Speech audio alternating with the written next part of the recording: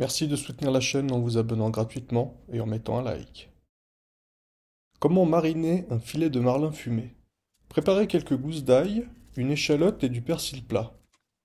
Pressez un citron et mixez le tout grossièrement. Il est possible d'y mettre un fond de vin blanc et ou de vinaigre blanc. Assaisonnez avec du poivre et du sel, quelques épices de votre choix et remuez. Disposez les tranches de marlin sur une assiette.